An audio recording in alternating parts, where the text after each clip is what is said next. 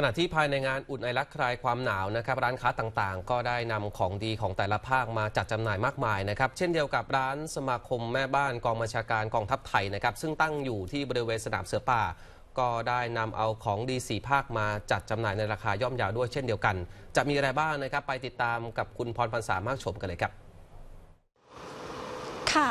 ที่ดิฉันยืนอยู่ตรงนี้นะคะ จะเป็นร้านสมาคมแม่บ้านกองบัญชาการกองทัพไทยค่ะ ภายในร้านนะคะ จะเป็นการนำเอาของดีสีภาค มาจัดจำหน่ายในราคาย่อมเยาค่ะ จะมีอะไรบ้างนั้นเชิญชมด้านในเลยค่ะ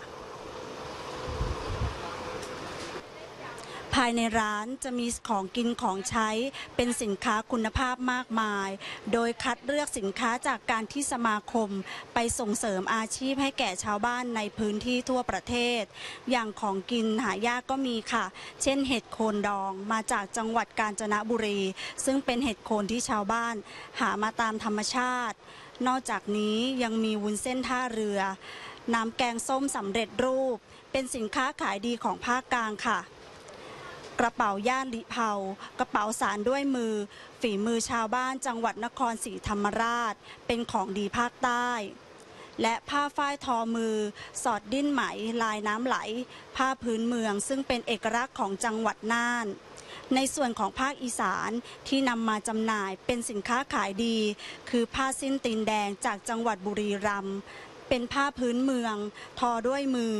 ลายโบราณ เป็นภูมิปัญญาท้องถิ่นที่สืบทอดกันมา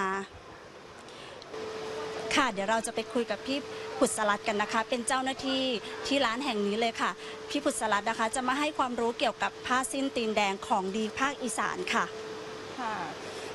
จะมีจุดเด่นอย่างหนึ่งนะคะของภาคอีสานเนี่ยคือจะเป็นผ้าสิ้นตีนแดงค่ะของของจังหวัดบุรีรัมย์ซึ่งตัวนี้จะเป็นอทอมือ อมือทั้งผืน แล้วก็สอดดิ้นทอง ทั้งผืนจะเห็นว่าเป็นเงาเงาๆนะคะ เป็นเส้นๆอย่างนี้นะคะ มันจะทำให้ผ้าลายเนี่ยเด่นและเงาขึ้นมาค่ะ แล้วก็ตรงเนี้ยค่ะจะเป็นลายโบราณ ซึ่งจะมีหลายลายด้วยกัน แต่จุดเด่นก็คือมันจะมีแถบแดงนะคะ คือตรงตรงต้นตรงชายตรงนี้กับตรงชายข้างล่างจะมีสีแดงทุกผืน ซึ่งตรงเนี้ยค่ะ มันจะเป็นจุดเด่นจุดเด่นที่ทำให้เขาเรียกว่าเป็นผ้าสิ้นตีนแดงอะค่ะ ค่ะขค่ะอบคุณค่ะ ค่ะสำหรับท่านใดนะคะที่สนใจอยากซื้อผ้าสิ้นตีนแดงในราคาย่อมเยา สามารถมาที่ร้านแห่งนี้ได้เลยค่ะ